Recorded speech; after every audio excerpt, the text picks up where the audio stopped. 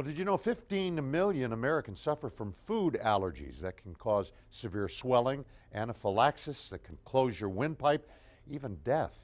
But many folks who think they have food allergies don't. It may be a more manageable food intolerance caused by any number of foods. You can find out by a simple blood test.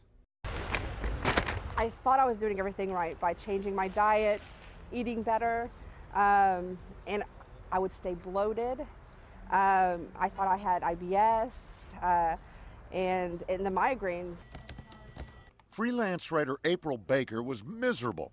Weight gain, headaches, fatigue, anxiety, despite following doctor's orders for exercise and diet. You may think you're eating healthy, but one in four of us have a food intolerance that we're not even aware of.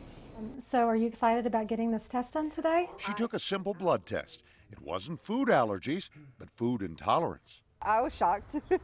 I was I was absolutely shocked. Like what? Um, even to fish, I had a mild intolerance to fish. Fish and a whole lot more. Onions, avocados, garlic, tomatoes. Favorites she thought were good for her. I absolutely love garlic, onions. Uh, saute them with your chicken or beef or whatever, and can't have those. Food allergies come on suddenly. Common triggers can be gluten, dairy, peanuts. Intolerance is more slow and subtle. The blood test can check you for up to 400 food items.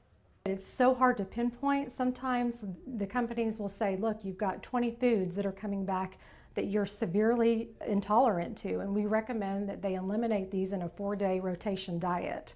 And once you eliminate from this from your system, clients come in and feel so much better. Intolerance has options, an allergy does not. If you're having a mild reaction, you really necessarily don't need to remove that from the diet. With an intolerance, if you can manage it, you know, the true allergy isn't going to go away. So with the intolerance, you have the ability to, to, take control of your health. Since December, April cut out some foods. She can still have her beloved cantaloupe occasionally, and it's worked wonders.